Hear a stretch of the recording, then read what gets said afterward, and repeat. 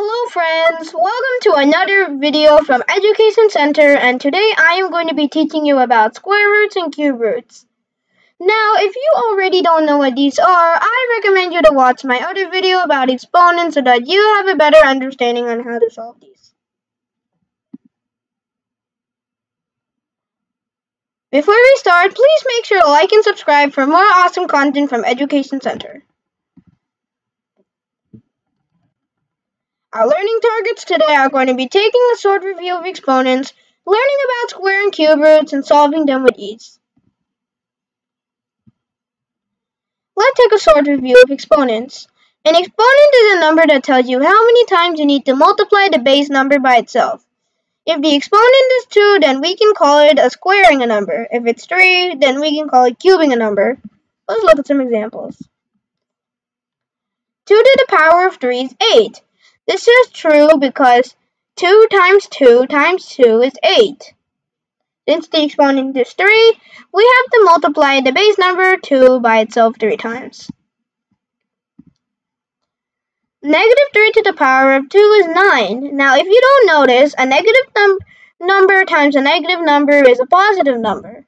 So, if when we look at this, negative 3 times negative 3 is 9.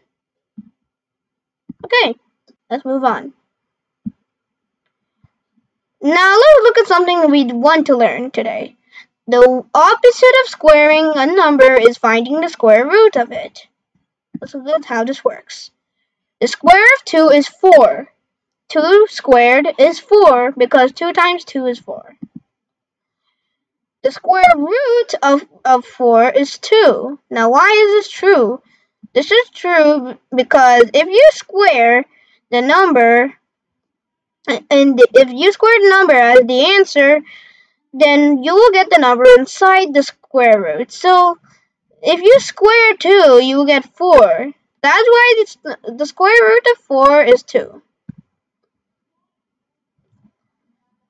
Let's try this out.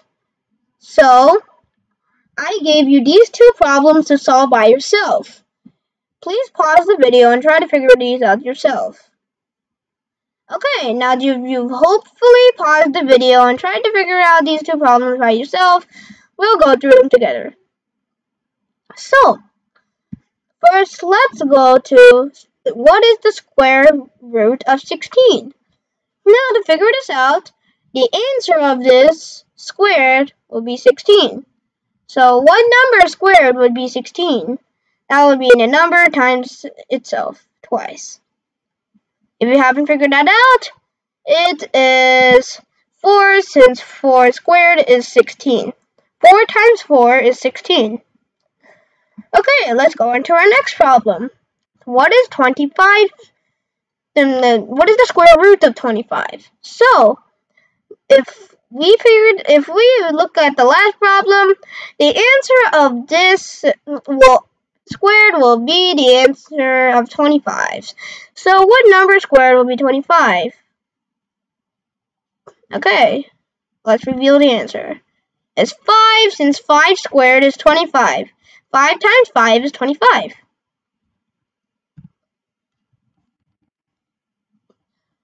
Okay, let's look at this positive square roots chart that I made myself. So, let's see here. This is true because if you must square 1, you will get 1. If you square 2, you will get 4. If you square 3, you will get 9, and so on. So this chart was for only for reference, and you can take this and jot it down in a notebook that you have nearby. Now let's look at the negative square roots.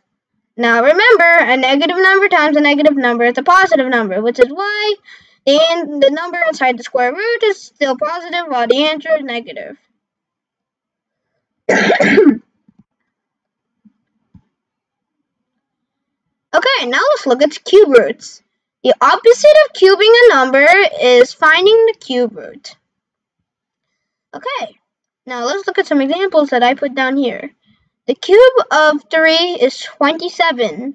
This is true because 3 times 3 times 3 is 27. The exponent here is 3, which is why we have to multiply 3 three times. 3 times 3 is 9, and then times 3 is 27.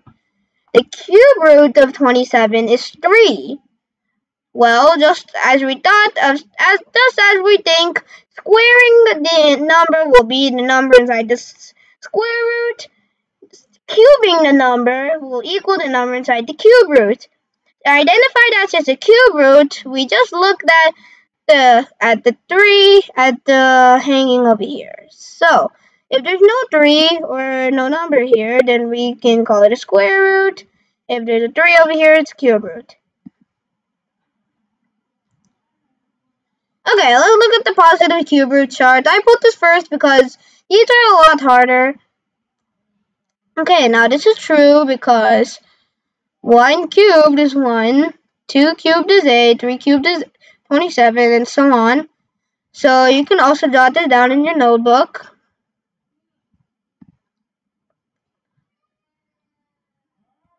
The cube roots of negatives. Now you might be wondering why I put a negative number here first. Okay, I put this here. Uh, I put this here b2 because you, if you don't notice 2, then a negative number times a positive number is a negative number. So if you cube negative 1, negative 1 times negative 1 is positive 1, but then positive 1 times negative 1 is negative 1, which is why we have a negative number inside the cube root 2. So that means this is true for all of these. And you see these numbers are getting pretty big, so yeah. okay, let's try these out. Now I've got two problems over here for you to figure out. Okay, pause the video and I'll see you once you solve it. Okay, now that you've hopefully paused the video and tried solving these two problems, not looking at the chart, I hope. Okay, so let's figure these out ourselves. Okay, so first we've got the cube root of 8. So, the answer of this, if we cubed it, it would be 8. So what answer cubed will be 8? You haven't figured this out already, it is going to be 2 since 2 cubed is 8. 2 times 2 is 4, and then 4 times 2 is 8. Okay, now let's look at this problem. Mm, what is the cube root of negative 64? Now, if you remember this, if there's a negative number inside then the if, then the answer would also be a negative number. This is only true for cube roots. And square roots, it's not true. okay, so let's see. What number times and uh, times multiplied by itself three times would be equal to negative 64. And remember, it's negative. Okay, now that if you haven't figured that out, if you let's have a drum roll. Okay, the answer is negative 4, since negative 4 cubed is 64. Actually, negative 64. Sorry for the error over here.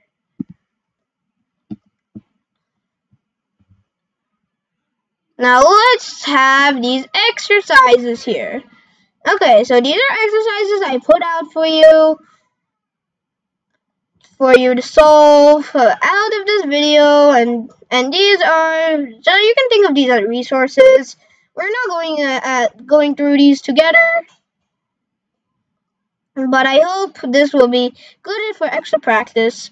So you can pause the video and jot these down in your notebook so that you can um, you can solve these for later use but I am moving on now okay Remember, the cube roots are having a 3 and the, and the square roots have no 3.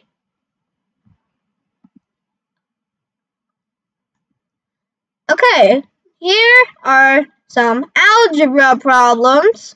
Now, if you don't know basic algebra, I'm going I'm going to go through these with you. So don't consider these as extra practice because we are going through these. Okay, so jot these down in your notebook and and um I'll have the, since these are tricky, I have a step-by-step explanation for us. Okay, see you in a bit. okay, now that you've probably solved them, let's go. Okay, let's look at the first problem. x squared equals 4. Solve for x. Okay, so first, what we're so if you don't know basic algebra, we want the x to be by itself if we want to solve it. So, how do we get this by itself? Easy. The power of square roots. Okay. So we use a square root to remove this from this power, the square, and then we get the x by itself. So just note this down. If you square a, a if you use the square root on a square, it immediately eliminates the square. So we have the x by itself now, and if you uh, don't know what the square root of 4 is, well, you should probably know that by now. But x equals 2. Easy free enough, right? No problem. Well, let's go on. Okay, let's see this. X cubed equals 27. Solve for x. Okay, now if you're guessing, if you're guessing that we're using cube roots, here, correct. So we're going to use cube roots to eliminate the cube, just like we use square roots to eliminate the cube. No, the square. Okay, so we got the x here, and we need to get it by itself, so we're going to use the cube root. Cool. So we've probably, we've used 27 in uh, the cube root of 27 in an earlier example, so you should probably know what the cube root of this is. And that is going to be x equals 3. Okay. Now let's move on to something harder. Okay. x squared plus 5 equals 21. Solve for x. Okay. So here we don't only have a square we need to eliminate to get x by itself, but we also have a positive 5. A 5 that we're adding to the x. Okay, so so let's do this. Don't worry if you don't know how to solve this. I'll go explain this. Hopefully you also learn a bit of algebra in this video. Okay, so x squared plus 5 minus 5 equals 21 minus 5. So here, what is going on here? So since we have a, pl a plus 5, we need to eliminate the plus 5 first. So since we're adding a 5 to to um, to eliminate this, we'll have to zero it out with a minus 5, or a negative 5, you can say. So, since there's a plus sign in front of the 5, this is positive. And then we will do positive 5 minus 5 to zero it out. But remember, whatever you do on one side, you have to do on the other side. And that is very true in algebra. Okay, so we also, since we did, um, since we uh, my uh if we if since we subtracted 5 here we also have to subtract 5 from the 21 so now that we have 16 on the side and well we zeroed out the 5 here now since there's a square here we have to use the power of square roots again to eliminate the square and since we know that 16 is also a square number which is technically a which uh, just means a number that can be um a number that can be that can be uh evenly divided by a square root. Yeah. Okay, so if you haven't figured this out yet, well, I'll just reveal the answer. And x equals 4. Simple enough, right? Well, I've got one more problem. And hopefully you solve it. Okay, so x cubed minus 14 equals 50. Solve for x. okay, let's look at this.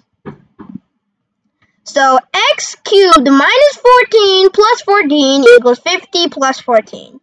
So since there's a uh, there's a minus sign in front of the 14, this 14 is negative. And since the zero this out, we have to add 14 to this. And to zero it out. And since we added 14 on this side, we have to add 14 on this side too. So now we have x x cubed equals 64. Now 64 is a cube number, which well just means a number that can be divided e uh, divided evenly into a whole number by a cube root. And since we know that the that using a cube root on a cube number eliminates the cube, the cube the cube,